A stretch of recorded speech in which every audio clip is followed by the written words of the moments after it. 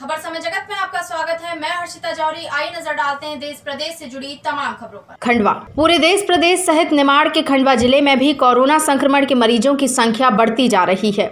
वहीं इस पर नियंत्रण के लिए शासन प्रशासन भी सख्ती से, अनावश्यक रूप से बाहर घूमने वालों पर कार्यवाही कर रहा है। प्रत्येक रविवार को 24 घंटे का लॉकडाउन घोषित किया गया है, जिसमें से एक खंडवा जिला भी शामिल है। वहीं शहरवासियों द्वारा एक दिन पूर्व ही शनिवार को ज़रूरी सामानों की खरीदारी की गई, जिससे बाजारों में अधिक मात्रा में भीड़ देखने को नज़र आई। जहाँ पूरे विश्व सहित भारत देश में भी कोरोना संक्रमण के मरीजों की संख्या में लगातार उछाल आ रहा है तो वहीं मध्य प्रदेश का खंडवा जिला भी अब इससे अछूता नहीं है। इन्हीं सब बातों को दृष्टिगत रखते हुए एवं वैश्विक बीमारी कोरोना संक्रमण की रोकथाम एवं जन स्वास्थ्य की रक्षा हेतु शासन प्रशासन द्वारा जनहित में कठोर निर्णय लेते हुए प्रत्येक रविवार को पूर्ण लॉकडाउन किया गया है।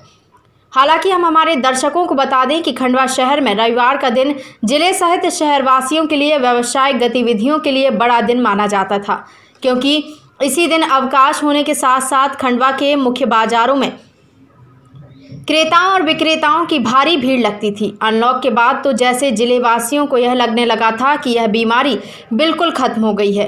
इसी लापरवाही की वजह से खंडवा ज़िले में कोरोना संक्रमित मरीजों की संख्या में इजाफा हुआ है। इसलिए प्रशासन द्वारा दिए गए निर्देश पर शहर के मुख्य बॉम्बे बाज़ार, इतवारा बाज़ार, रेलवे स्टेशन रोड, खेल मैदान सहित संपूर्ण शहर मुकम्मल बंद रहा।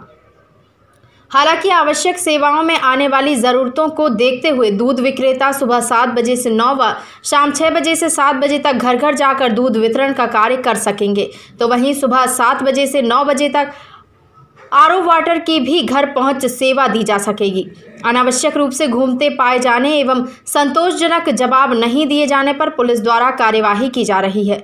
विभिन्न अस्पतालों में भर्ती मरीजों के परिजन अस्पताल में भर्ती होने का प्रमाण दिखाए जाने पर अधिकतम दो लोगों को घर से अस्पताल तक जाने की अनुमति रहेगी तथा इस हेतु अस्पताल प्रबंधकों को निर्देशित किया गया है कि वे भर्ती मरीजों के परिजन हेतु आवश्यक प्रमाणीकरण नाम से करके परिजनों को देंगे।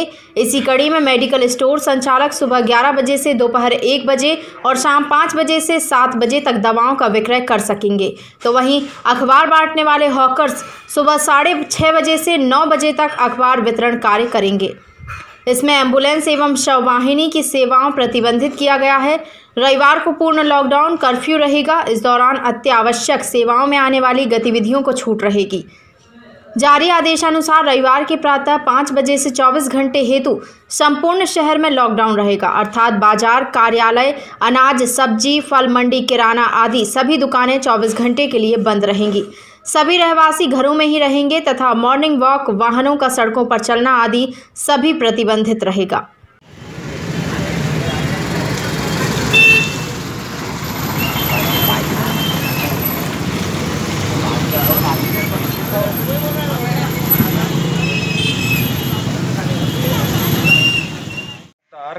कोरोना को लेकर यहाँ खंडवा में पुलिस द्वारा मुस्तैदी बताई जा रही है, दिखाई जा रही है, क्योंकि यहाँ पर लगातार कोरोना के मरीजों की संख्या बढ़ती जा रही है। वहीं आप पीछे देख सकते हैं कि पुलिस किस प्रकार से मुस्तैद है और लोगों को जागरूक कर रही है।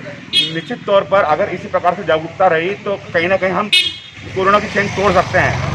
शासन प्रशासन के द्वारा जो नियम लागू किया गया है, इतवार, प्रति इतवार को प्रति रविवार को जो लॉकडाउन फुल लॉकडाउन उसका पालन करते हुए आप पुलिस को देख सकते हैं। खबर समझ के लिए दीपक चावड़े की एक खास रिपोर्ट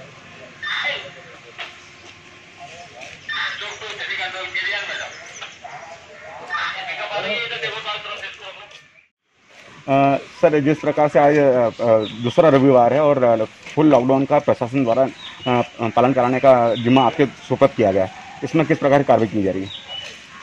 आज रविवार को लॉकडाउन होने से पूरे शहर में मगर थाना क्षेत्र में हम लोग पेट्रोलिंग करके जगह जगह चेकिंग करके लॉकडाउन का पालन करा रहे हैं। जो बेवजह घूम रहे हैं उन पर वैधानिक कार्रवाई की जा रही है और पूर्णतः शक्ति का पालन कराया जा रहा है जिससे कोरोना संक्रमण से विजय प्राप्त की जाए। श्रीमान जी से परिचय दें आपका? थाना प्रभारी मोहन बी एल सर सबसे पहले अपना परिचय दें। सर जिस प्रकार से ये आज दूसरा रविवार है प्रशासन द्वारा चिन्हित करके ये कार्रवाई की जा रही है कि प्रति रविवार को फुल लॉकडाउन किया जाएगा। इसमें आप किस प्रकार की कार्रवाई कर रहे हैं? लॉकडाउन में जो लोग अनावश्यक निकल रहे हैं उनको रोक रहे हैं और उनको रोक के जो उन पर जो एक्शन होता है चाहे उनका चालान- चालान काटते चाहे उन पर एक सौ अट्ठासी का प्रावधान है कि उनको अरेस्ट कर रहे हैं। जो भी एक्शन उन पर बनता है टिकटीवत एक्शन हम लोग ले रहे हैं। कानून कार्रवाई कर रहे हैं। खबर समय जगत के लिए खंडवा से ब्यूरो चीफ दीपक चावरे की report. For latest news, subscribe to our channel and press the bell icon.